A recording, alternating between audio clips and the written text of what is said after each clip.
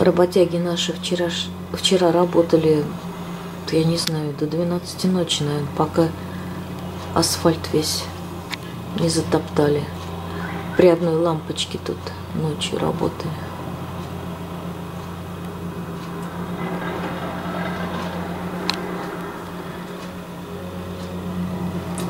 Вот под зиму нам новый асфальт. Девочки, покупки из пятерочки. Сегодня пенсию дали на день раньше. Потому что сегодня пятница 13 -е. Ну, зашла пятерочку. Сейчас я вам покажу, что купила и скажу вам цены. Самое главное, я купила себе кофе. У меня кофе закончилось. И увидела вот Паули, Паулинг кофе. Я такой ни разу не брала. А, якобы с ореховым ароматом.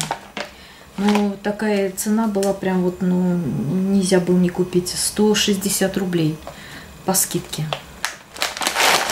Написано, что кофе приготовили изготовитель Финляндии. Пауленко. Так, купила пасту. Нравятся вот такие рожки интересные. Изготовитель Макфа. Гранд паста. Так, и эта маква стоит 70 рублей. Купила два мороженых. Дима сегодня с ночевой на выходной к нам. Вот это мороженое Сампо у нас стоит 45, э, 35 э, рублей. Так, дальше что у нас? Вафли взяла. Почему вафли? Написано вафли, что ли? Вафли глазированные с орешками. Все правильно. 45 рублей. Вот такие вот, как пироженки там по одному. Сейчас же придет что-нибудь сладенькое ему надо. Так, зефир в шоколаде взяла прям по акции, 50 рублей.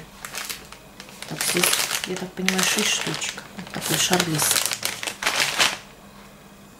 Горох колотый взяла. В этот раз такую кашу изумительную сварила. Блендером разбила. Она прям такая, прям прелесть. Горох колотый. 30 рублей 29 копеек. Рис взяла селяночка, ни разу такой не брала.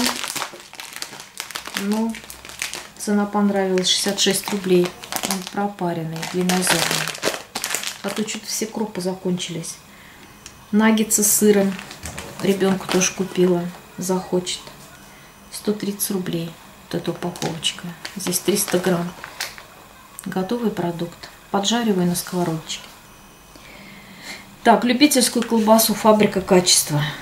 Вот такую. Мужики мои едят, нравится им, поэтому взяла. За этот батончик 265 рублей.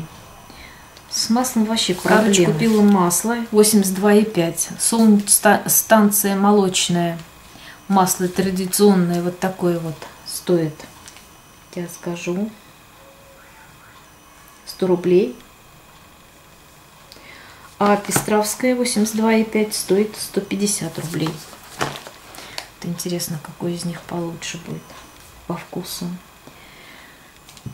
Масло оливковое, первый отжим. 500 миллилитров по скидке 300 рублей. Вот такая вот бутылочка. Вот. Сейчас я вам скажу, кто изготовил. Нерафинированный, экстра virgin.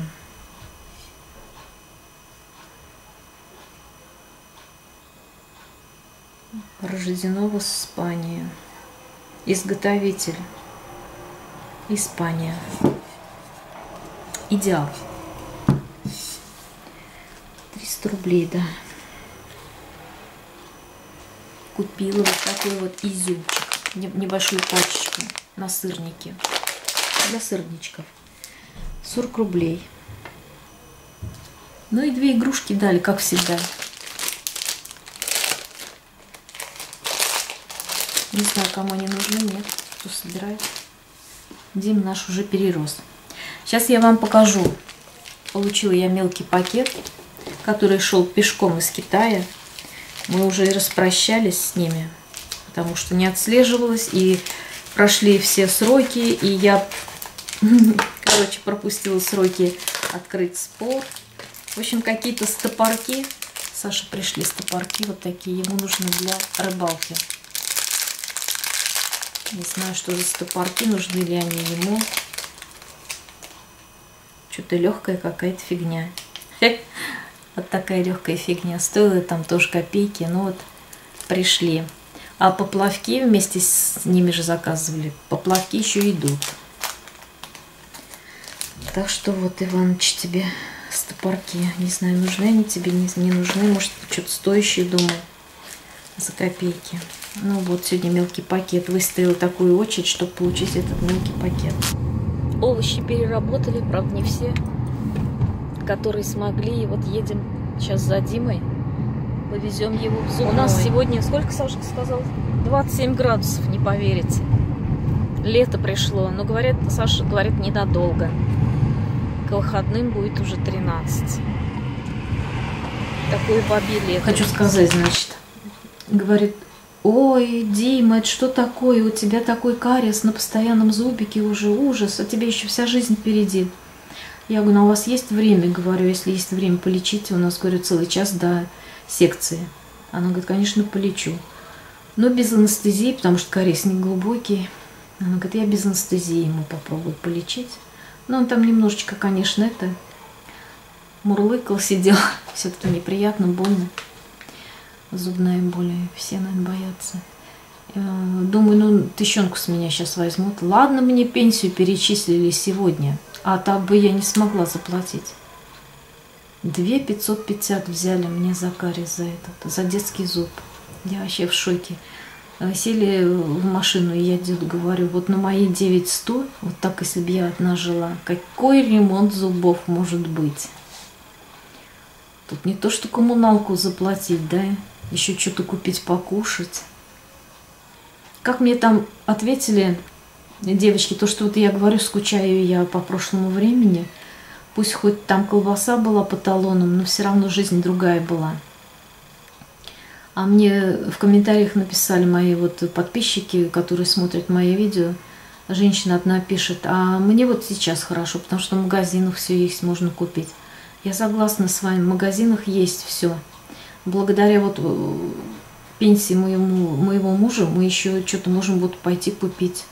А я бы вот одна на 900, девчонки, я просто слюнями давилась бы в магазине прям сразу там до смерти.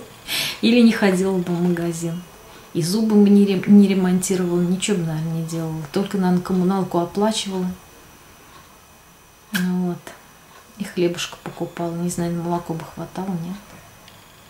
И я не представляю, вот кто вот женщины с минимальной пенсией вообще как живут и выживают. Грустно все это.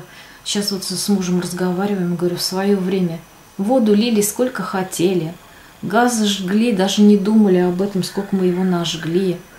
Там тоже человек и газ-то был, тоже прям мы не замечали эту коммуналку, оплачивали, не замечая, честно говорю. Даже когда Саша не работал на севере, мы не замечали эту коммуналку, оплачивали. Она не била так по карману. Ни квартплата, ни газ, вот это вот все. Сейчас смотрите, сколько всего раздули. ВДГО разделили газ мусор приплели. Теперь еще страховку какую-то хотят включить э, в квартплату. Ну, это ужас какой-то. За антенну плати отдельно. За телефон мало того, что у меня дом стационарный, развелось еще других телефонов куча. Вы понимаете, вот в чем разница раньше? Был у нас домашний телефон, мы за него платили. Я понимаю, сейчас без этого, без сотового телефона мы уже и жизни себе не представляем. Но все равно говорю, вот эти вот все растет, вот мы обрастаем, обрастаем. Я вот сажусь э, коммуналку платить, я веду амбарную книгу, я туда все записываю, потому что это в голове уже невыносимо все держать. Раньше знали, там квартплата, газ, свет, все. Сейчас вода отдельно, мусор отдельно, ВДГО отдельно, газ отдельно. Что там у нас еще? Капремонт. Капремонт еще откуда-то приплелся. И свет все нам обещали, знаете как, говорят, давайте поменяем счетчики на электронные, будете меньше платить. Ага, ага, меньше. Наоборот, я в два раза больше стала платить. В общем, я не знаю. Тяжко жить как-то. Не то, что тяжко жить, а вот нет уверенности в завтрашнем дне.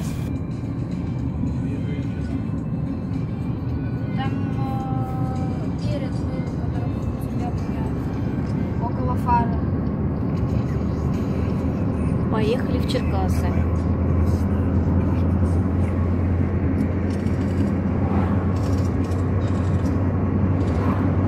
Жди, мы едем.